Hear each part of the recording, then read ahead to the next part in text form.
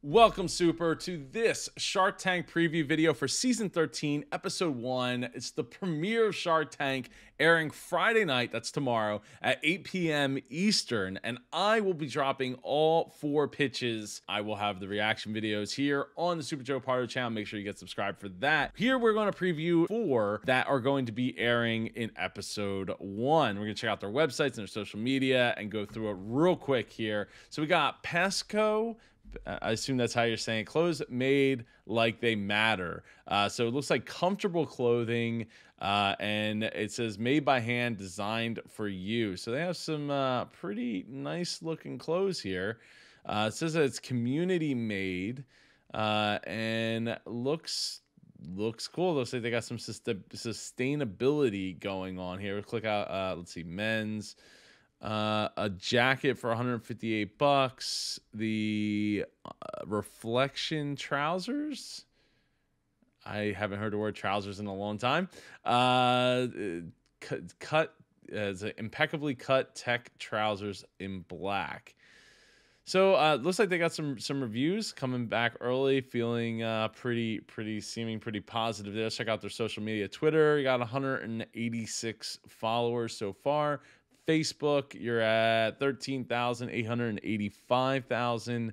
Uh, looks like they are posting, you know, about their shark upcoming Shark Tank uh, visit uh, on into the tank. Eh, not too much, not too much um, interaction engagement there. Let's see.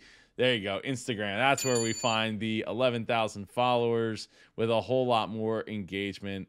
That's that's awesome. Looking forward to seeing uh, his pitch tomorrow night. Lion Latch probably feature on ABC's The View and on GMA already, which is pretty pretty awesome to see. It looks like it's uh, a jewelry holder that you can like attach to things, uh, which is which is pretty cool. It's, it apparently it was originally a GoFundMe made in Texas, so uh, I guess made completely here in America, and prices are like nine, ten dollars.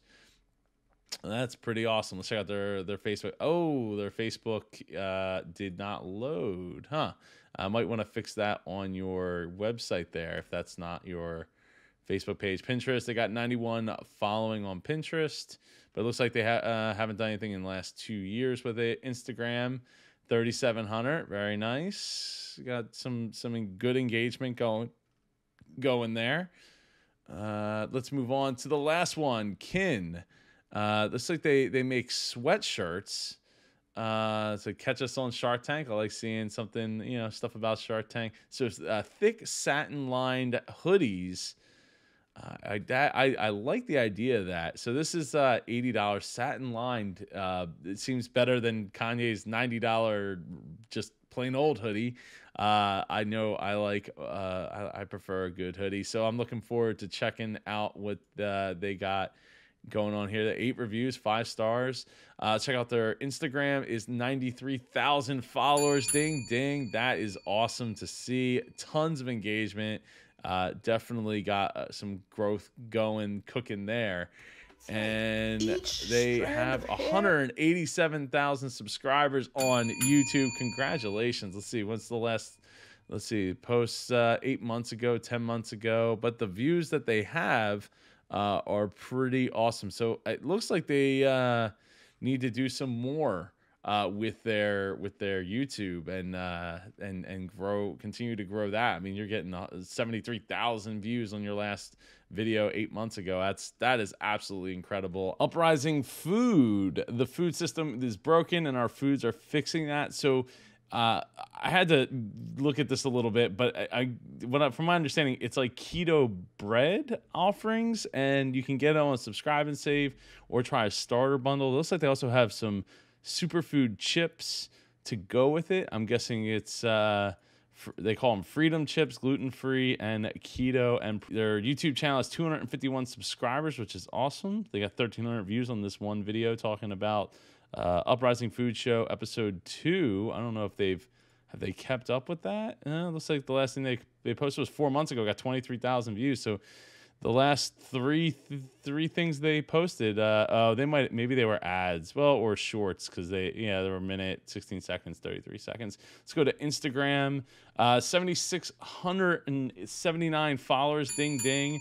Congratulations on that. Uh, with a decent amount of followership uh, engagement going on there on their instagram grid. I mean i always like seeing faces so uh, they have a, a, couple of faces, probably could do a little more in the way of faces. And wow, okay, so they just started it in 2019 uh, and already have built up almost 7,700 followers. And on Pinterest, they got 2,267 followers. Remember, join me tomorrow night between 9 and 11 p.m. Eastern here on the Super Joe Pardo channel. I hope you have an amazing day. Take care.